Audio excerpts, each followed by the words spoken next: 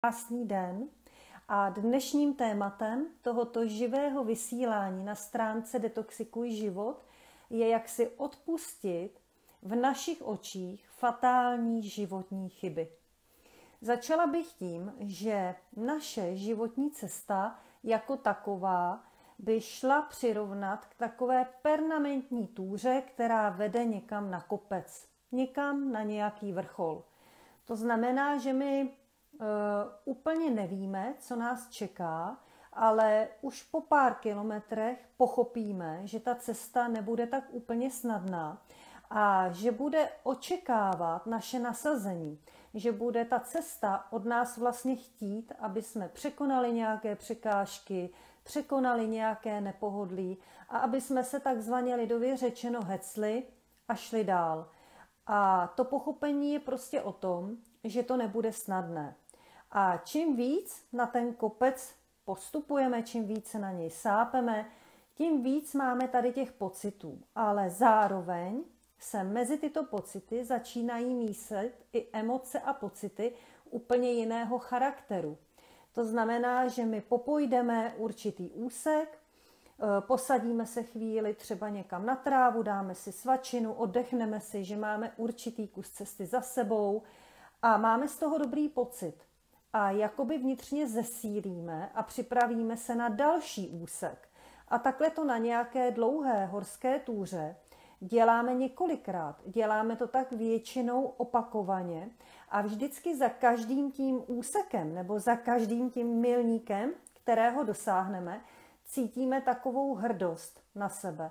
A pořád vlastně si prodlužujeme tu cestu, díváme se do mapy nebo máme v ruce navigaci a pořád stoupáme dál a dál a jdeme dopředu po tom vytyčeném okruhu. E, takovýto okruh vytyčený, o kterém třeba vy ještě nevíte, e, je i náš život. To znamená, že ten náš život je vlastně také takováto cesta, která je plná nějakých vrcholů, plná karambolů, propastí, překážek a různých překvapení. Některá jsou pozitivnější, některá negativnější a velmi záleží na tom, jak záhy pochopíme, že si tu cestu vytváříme svým myšlením a svými emocemi ve směs sami, do čehož se nám většinou moc nechce. Protože přijmout zodpovědnost za něco, co nás opravdu trápí, co nás nutí na to neustále myslet, není tak úplně jednoduchá disciplína. E, my jako lidé e, většinou chceme pokořovat limity. Už když jsme malé děti, tak většinou, i když nám někdo třikrát řekne, že pokud někam vyskočíme, že spadneme, že nás to bude bolet, tak to tak dlouho zkoušíme, až prostě uh, to uděláme. Prostě to zrealizujeme, pak spadneme a pak nám dojde, že to opravdu bolí. A všechny tyhle ty chyby, které už by tak šly nazvat v dětství, jsou vlastně přínosné, protože nám přinášejí zkušenost a pokud nás opravdu, opravdu bolí, anebo se nám opravdu nelíbí, tak je už nechceme opakovat. A to je zásadní, protože na začátku, my když se sem narodíme, tak jsme jako prázdný, bílý, nepopsaný list papíru. A v takovou chvíli, když vlastně si představíme, že tam je jenom vákuum na té naší cestě, Eh, pokud na ní koukáme hodně dopředu, tak máme jedinou možnost a to, že se musíme začít jednotlivosti, které v našem životě potřebujeme učit. Ať chceme nebo nechceme, eh, náš život tady na této planetě, v této pozemské realitě je o tom sbírat zkušenosti, dělat chyby a učit se z nich. Ta třetí teze o tom učení je velmi zásadní. Eh, je nutné si připustit, že každý náš pokrok dopředu v tom našem životě je obohacující pouze tehdy, když ty chyby můžeme dělat. Protože v opačném případě bychom opravdu neměli z čeho to poznání čerpat. Eh, ty chyby, ať už jsou jakéhokoliv rozměru, ať už jsou jakéhokoliv charakteru, vedou k našemu poznání. A podstatou našeho dozrávání je dělat jich co nejvíc a cítit se přitom špatně.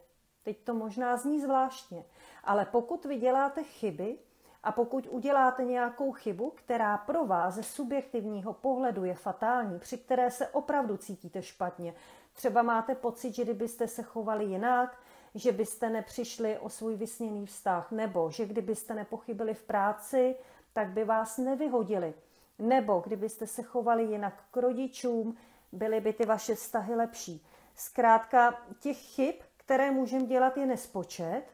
A když už uděláme nějakou chybu, která pro nás opravdu z našeho pohledu a díky našim emocím, což si uvědomuje, fatální je, tak se cítíme blbě. A když to uh, přeženete, teda to svoje chování, které vedlo k té chybě, a když si uvědomíte, jak špatně se cítíte, tak velmi dobře v takovou chvíli umíme velmi dobře všichni vyspecifikovat naše nedobré jednání.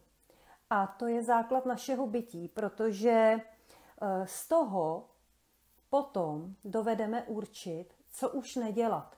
Z toho jsou ty největší zkušenosti, protože zjistíme, a pamatujeme si to velmi dobře, že pokud něco podobného někdy budeme realizovat, tak se může stát ten důsledek úplně stejný nebo ještě horší a budeme se cítit zase takto špatně. To znamená, eh, po tom poznání vlastně, v jakém jednání se cítíme hrozně, v jakém jednání nebo po jakém jednání se cítíme úplně na nic, eh, dojdeme k tomu, co nechceme a nebudeme v našich životech opakovat. A to je přesně ten okamžik, o kterém jsem mluvila, že by šel schrnout v pár větách.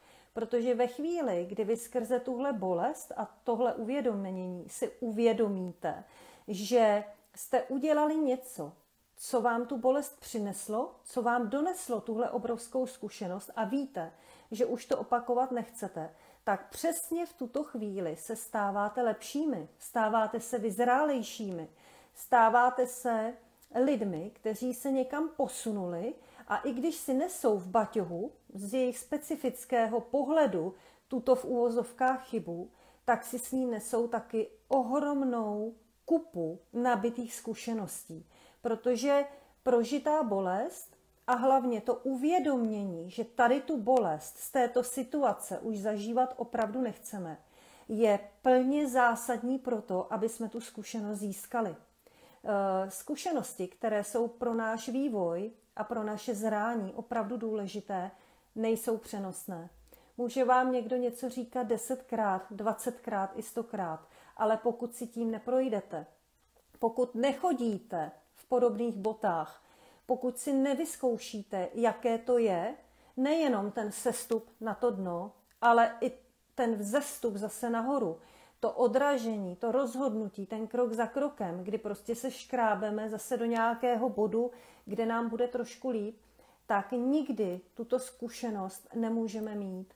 Takže opravdu každá naše chyba, a věřte mi, že vím, o čem mluvím, protože jsem také udělala chyb z mého pohledu, dnes už to chyby nejsou, ale tenkrát byly nespočet, eh, vedla k něčemu, co mě opravdu někdy tryskem posunulo dál.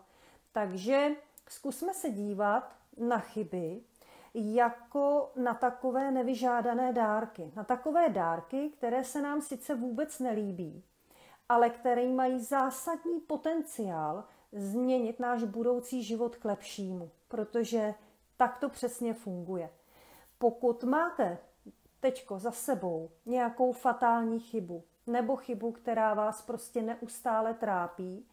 Eh, máte z ní i spoustu zkušeností a je velkým nesmyslem týrat se za to, že žijete, že se učíte a že zrajete na té vaší pozemské cestě tady. Protože jinak bychom úplně všichni zůstali tím bílým, prázdným a nepopsaným listem papíru. Takže já doufám, že jsem třeba aspoň malinko změnila pohled na to, čemu říkáte chyby. Protože neexistuje věc, která by byla jenom černá anebo jenom bílá. A ve chvíli, kdy se za chybu přestanete peskovat a přestanete se trápit, přestanete si ji vyčítat, ale spíš si sednete a řeknete si, co jste se díky ní museli naučit, i když se vám to vůbec nelíbilo, tak zjistíte, že každá chyba má přínos. A každá z vašeho e, osobního pohledu fatální a důležitá chyba má ještě fatálnější a důležitější přínos pro váš další život. Takže já pevně věřím, že vám moje povídání pomohlo. Eh, budu ráda, když mi napíšete do komentářů, jak jste se dívali na svoje chyby vy, eh, jak dokážete nebo nedokážete otevřít mysl novému pohledu na věc, který vám může velmi rychle ulevit. A srdečně vás zvu na další živé vysílání, které proběhne již zítra tady na stránce Detoxikuj život. Děkuji, že jste přišli a mějte se krásně.